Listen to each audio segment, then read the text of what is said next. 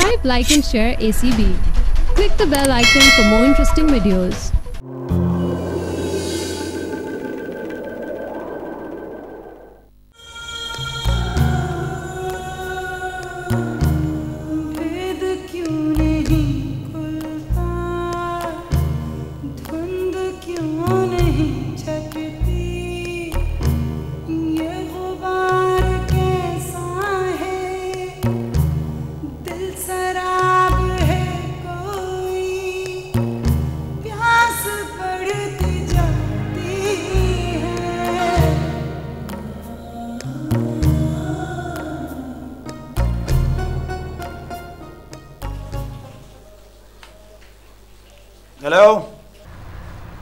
बोल रहा हूँ। अबे सीधा नाम बता ये कोई पब्लिक कॉल ऑफ़िस नहीं कि हम आवाज़ें पहचानते फिरे। ये थाना है। ये थाना है? और तुम इसके सबसे बड़े गुंडे हो। आप कौन बोल रहे हैं और मैं डीआईजी सदाकत अली खान बोल रहा हूँ। सॉरी सर सर मुझे माफ़ कीजिए मैंने पहले आपकी आवाज़ नहीं सुनी सर अगर आप अपनों से बड़ों की बातें गौर से सुने तो ये हाल ना हो। जी हाँ सर ये शहर भर में क्या हो रहा है? तुम अपने इलाके की खबर भी रखते हो या भत्ता लेके घर बैठ जाते हो? नहीं सर। सर मैं कभी ऐसा नहीं सोचता सर। ये शहर में फसाद कौन फैला रहा है? सर अगर मैं नहीं जानता तो घसीट कर थाने में बंद न करता सर। मैं कुछ नहीं जानता। अगर दो दिन में ये गुंडे और कातिल गिरफ़्तार नहीं हुए तो इनकी जगह तुम जेल की हवा खाने के लिए तैयार है ना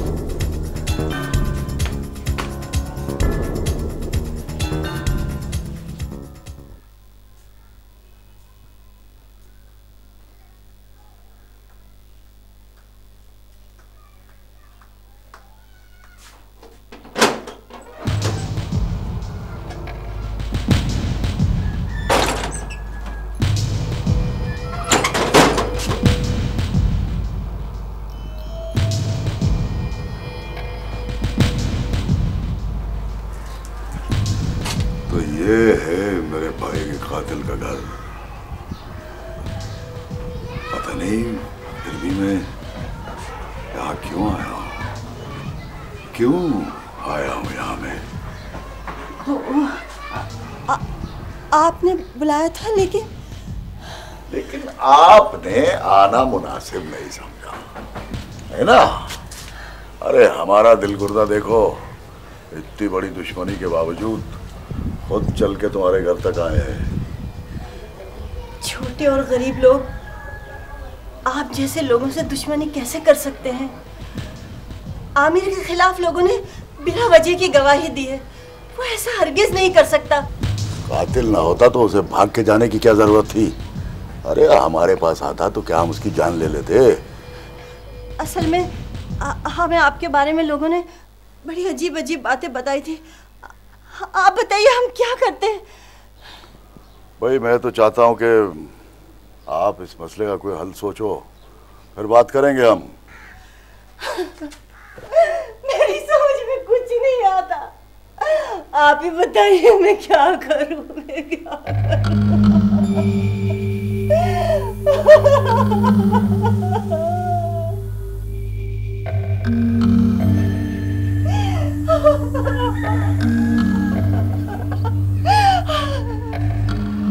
आप ऐसा करो, अपनी बेटी से मशवरा करो।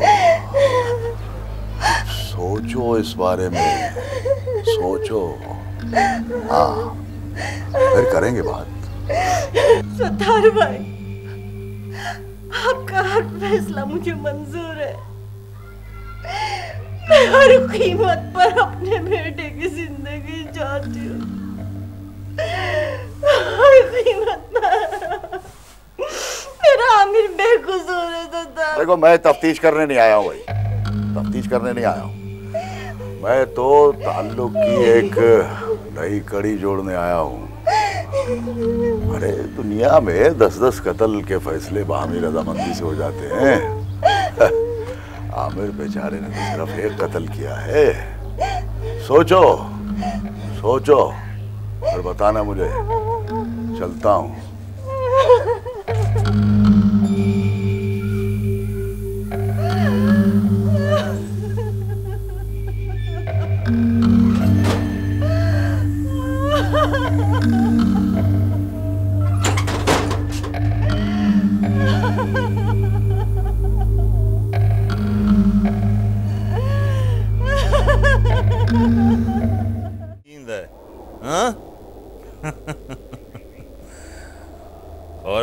आ गए?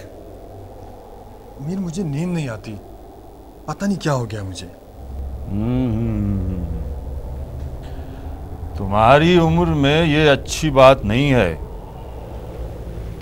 कभी कभी अच्छी और बुरी बात की समझ नहीं आती। औरत सा जाता हूँ मैं।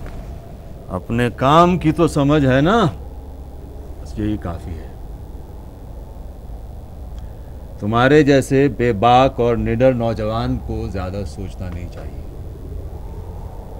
सोचने के लिए हम है ना? मीर क्या आप मेरे लिए भी सोचते हैं? हाँ क्यों नहीं सोचते हैं? बताओ तुम्हें क्या चाहिए? मीर वो वो मैं वो मैं हम और तुम जो है ना, खिदमतगार लोग हैं। हमें इस बात की रकम मिलती है। अगर हम अपना काम छोड़ देंगे तो कुछ भी नहीं रहेगा। अभी हमें कुछ और रकम बनानी है, माल बनाना है। जब हम मालदार हो जाएँगे तो फिर अपनी मर्ज़ी कर सकेंगे। जिस चीज़ पर हाथ रखेंगे, वो हमारी हो जाएगी। साहब मैं भी यही चाहता हूँ।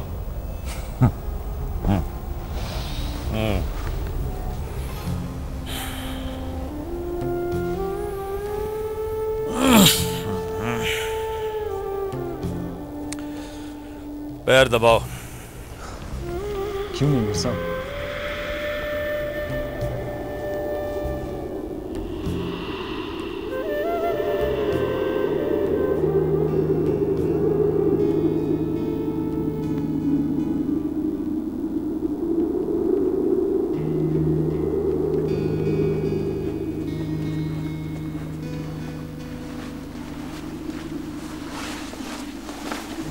सलाम बाबा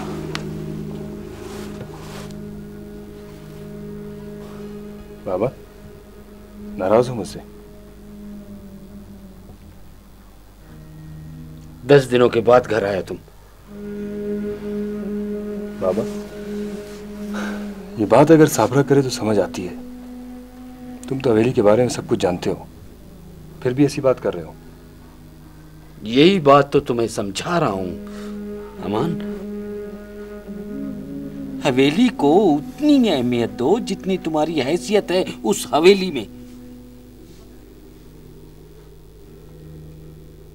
नाकारा हो गए तो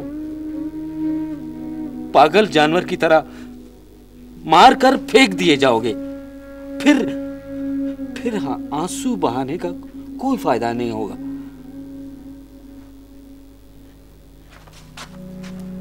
भाई आप कब आए? कम से कम बंदा आवाज़ तो दे देता है अपनी बहन को। अभी आया हूँ। और आते ही बाबा ने घेर लिया तुम्हें अच्छी तरह पता है कि बाबा तुमसे कितनी मोहब्बत करते हैं। बाबा मुझसे मोहब्बत करते हैं। मैं तो मोहब्बत नहीं करता तुम लोगों से।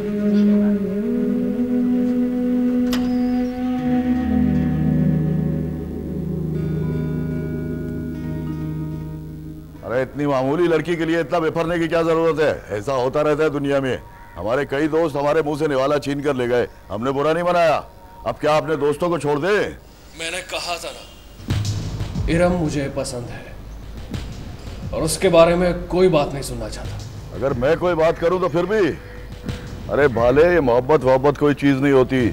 मैं तो कहता हूँ जो चीज़ पसंद आए उसे उठा लो और जब जी भर जाए तो फेंक दो। लेकिन मैं ऐसा नहीं कर सकता। और ना ही किसी को ऐसा करने दूँगा। अरे भाले मैं तेरे नहीं अपने उसूल की बात कर रहा हूँ। नहीं मानता मैं तुम्हारे असूलों को। अब मैं अपनी दुनिया खुद बनाऊँगा अरे हम तुझे जाने देंगे तब ना।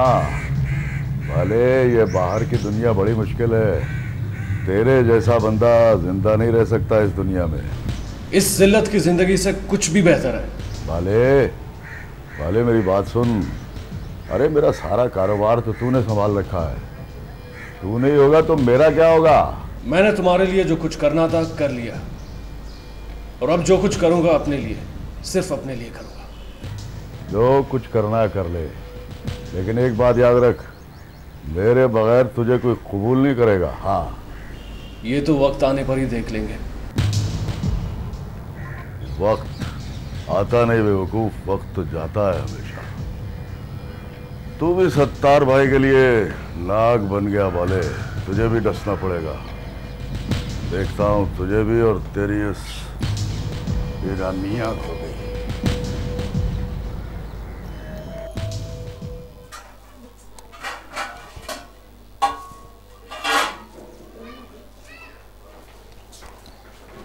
इरम जी।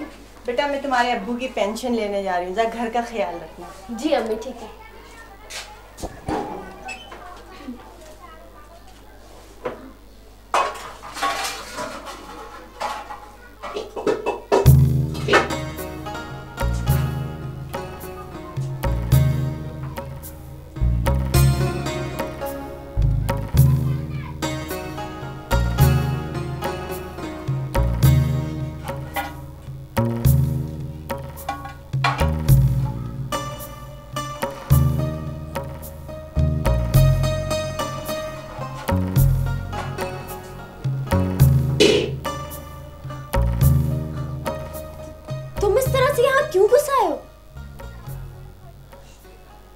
कुछ नहीं होगा।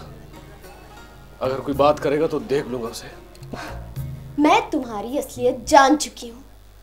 और वैसे भी ये ये शरीफों का मोहल्ला है। जानता हूँ जानता हूँ ये शरीफों का मौला है लेकिन लेकिन मैं भी तो कोई बदमाश नहीं। इन्हीं में से एक हूँ। तुम यहाँ से जाते हो या नहीं? इरम मेरी बात सुनोगी तो तो जाऊँगा यहाँ से। कहो क्या बात है? इरम अगर ये अगर ये सब बुरा लगता है तो मैं छोड़ दूँगा सब तुम्हारी खातिर। ऐसा क्या करते थे तुम? और वैसे भी अब मुझे तुम में कोई दिलचस्पी नहीं रही है। इरम क्या हो गया है तुम्हें? ये बेगानों जैसी बातें क्यों कर रही हो तुम? पाले तुमने कभी ये सोचा कि ना तुम्हारे पास रहने को कोई ठिकाना है? और ना कोई सोने को जगह, ना तो कोई कारोबार है और ना ही नौकरी। किस तरह से गुजरेगी मेरी ज़िंदगी तुम्हारे साथ? इरम, मैं कोई बुरा आदमी नहीं हूँ। वक्त और हालात ने मुझे बुरा बना दिया है। और मैं मैं इस जुर्म की आग से निकलना चाहता हूँ। अगर अगर तुम साथ दोगी तो भाले प्लीज़ हम हम लोग पहले ही बहुत सताए हुए लोग हैं।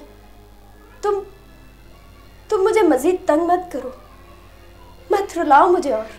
इरम जानती हो, मेरे जैसे नालायक शख्स को सिर्फ़ तुम तुम ठीक कर सकती हो। सिर्फ़ तुम तू किस लिए आए हो यहाँ हाँ क्या चाहिए तुम्हें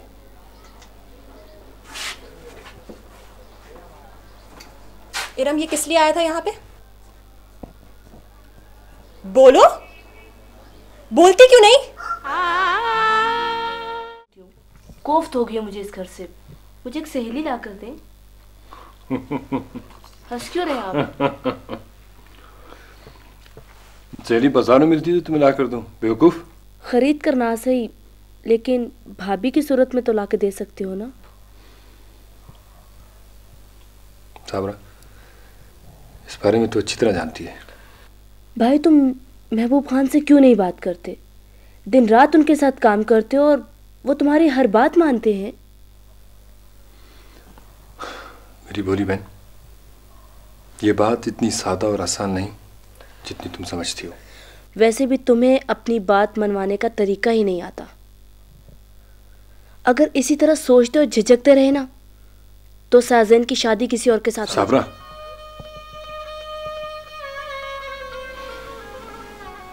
मैं ऐसा सोच भी नहीं सकता कि, कि साजन किसी और की होगी। मैं साजन से खुद बात करूँगी। नहीं। तुम फ़िलहाल उसे कोई बात नहीं करोगी। समझी तुम?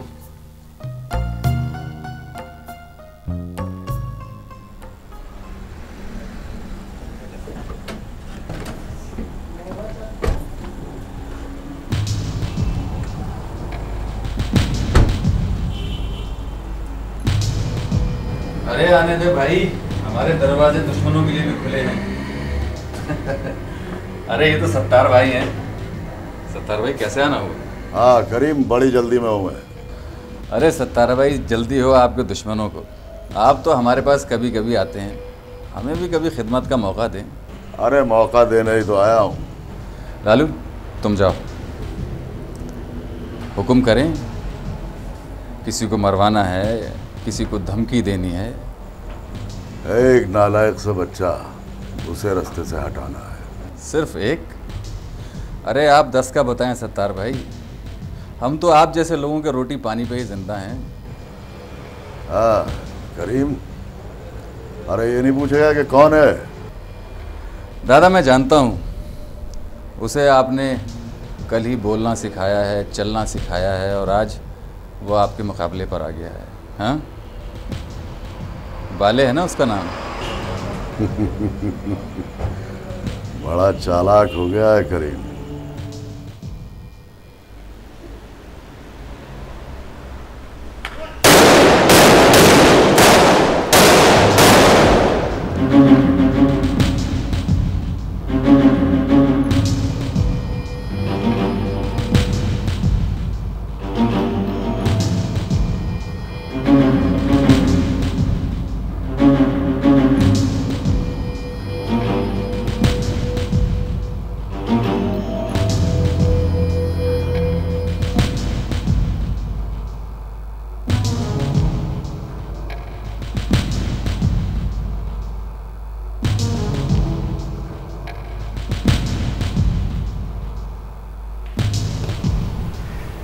के लिए बॉर्डर पे जा रहा हूँ मैं। पीछे ख्याल रखना। बाले पे खास तौर से नज़र रखनी है। कहाँ जाता है किससे मिलता है क्या बातें करता है। अगर बाला खुद यहाँ आ जाए तो? अरे इससे अच्छी तो बात ही कोई नहीं। अपनी मचान के नीचे शिकार खेलने का मज़ा ही कुछ और होता है। सतार भाई वो सबसे आपके खिलाफ बातें करता है आजकल। करने दे करने दे बेटा। जब तक जबान है तो बकवास करेगा ना। कल जब जबान बंद हो जाएगी तो सब कुछ खत्म। वो लौंडा कल तक आपके टुकड़ों में पलता रहा है सतार भाई। और आज? अरे नेक लोग अपनी जगह पे लेकिन कभी कभी हमें भी सब्र से काम लेना पड़ता है। आजकल बाला हमारे सब्र को आजमा रहा है। सत्तार भाई के सब्र को। अरे ख़त्म कर देंगे उसका सब्र भी बहुत जल्दी कर देंगे। बस ख्याल रखना पीछे।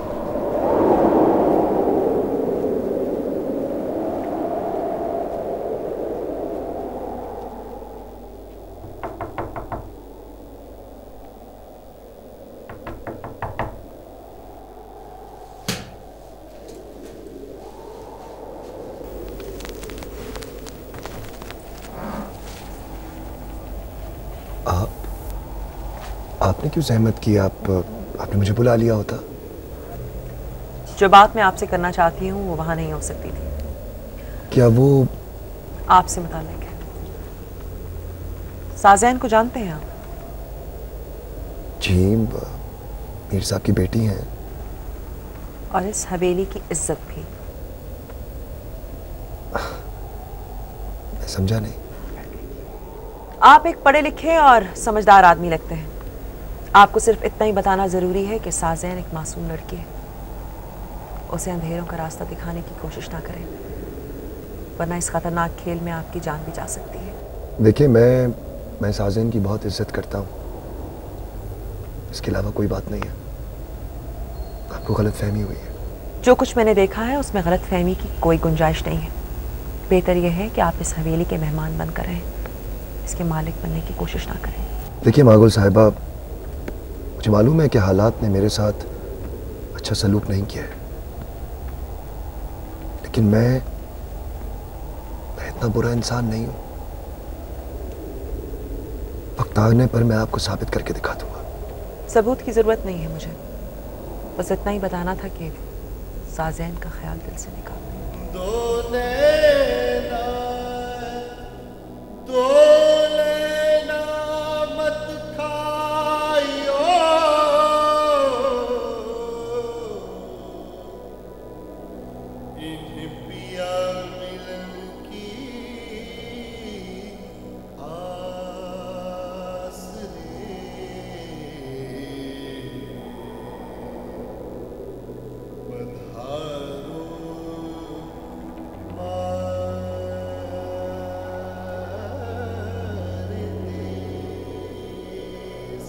मीर साहब लौटी तरह वेलिया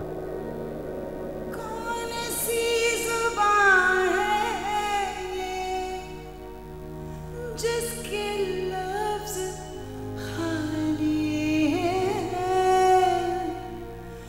जिसके लफ्ज खाली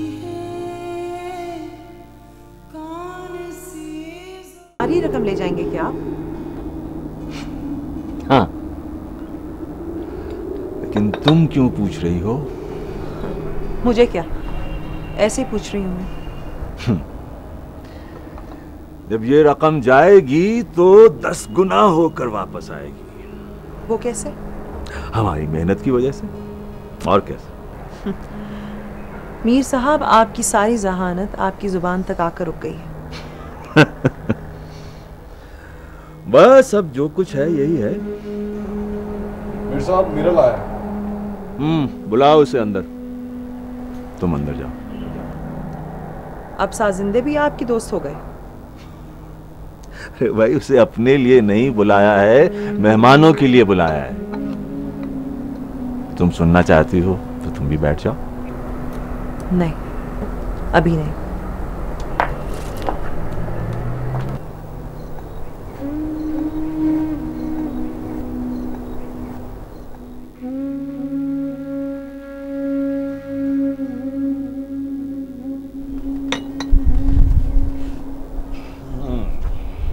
आओ मीरन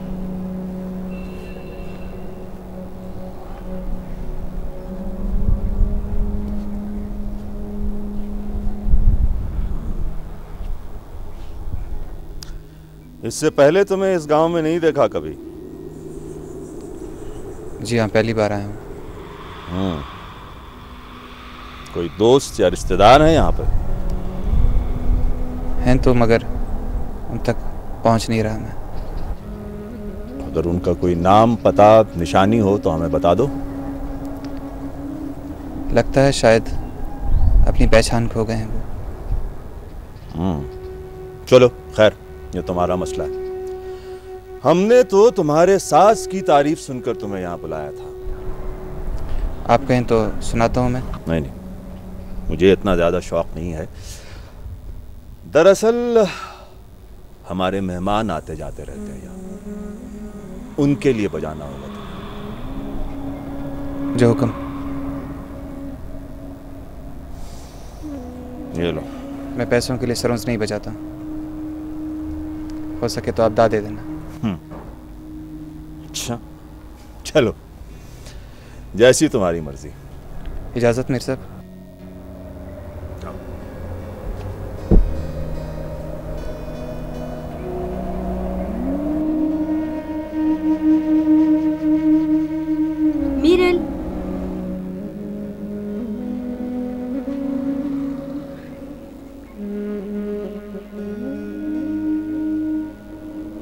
बहुत अच्छा लगा तुम्हें हवेली में देखकर। तो ये आप लोगों की हवेली है? बाबा ने बुलाया तुम्हें? हाँ मेहमानों के सामने सरोंस बजाने के लिए।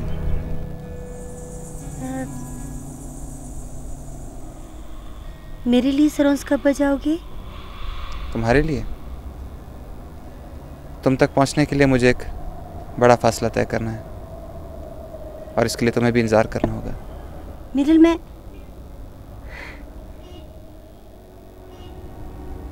मैं इंतज़ार करूँगी। जाता हूँ।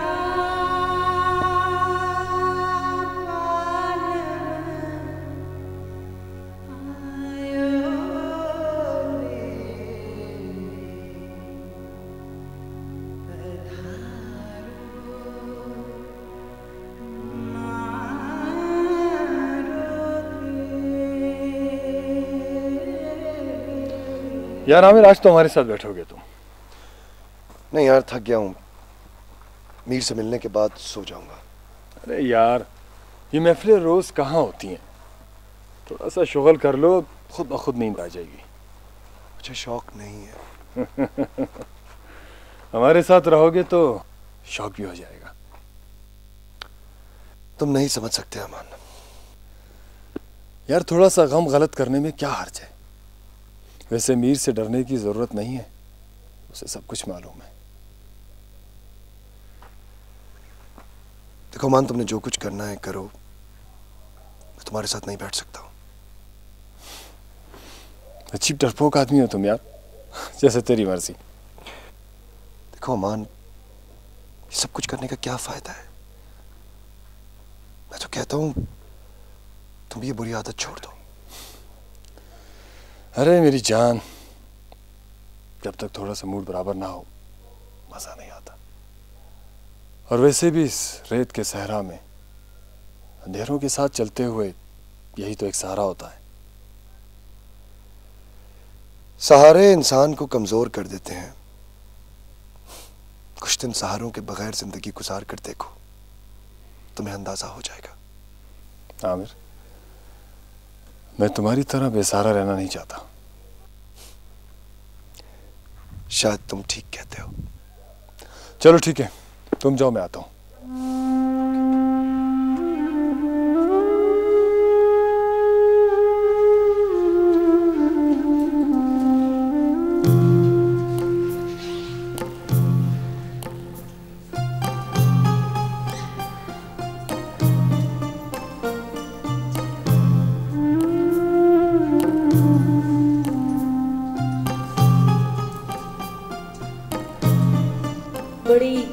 सज धज के खड़ी हो।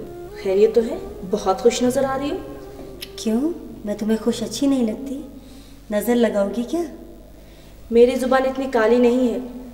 भैया यही कहते हैं। तुम दोनों बहन भाई बहुत अजीब हो। जरा सी बात को ना पता नहीं कहाँ से कहाँ ले जाते हो। कल अमान भाई बहुत खुश नज़र आ रहे थे। फूले ही नहीं समा रहे थे। अमान और खुश वो तो हमेशा अकड़ा हुआ रहता है। तुम्हारी गलत फहमी है। तुम्हारे बाबा ने कल उसे इतनी तसल्ली दी है। पहली मरतबा इतने प्यार और शफकत से बात की है। वो तो आमिर से भी बहुत प्यार से बात करते हैं। आमिर कल ही हवेली में आया है और आज उसे ये तो किस्मत की बात है कोई क्या कर सकता है? मैं आज ही भैया से बात करूँगी। ओ मेरी जान मैं तो मज़ाक कर रही थी तुम्हारी कसम। चलो। चलो।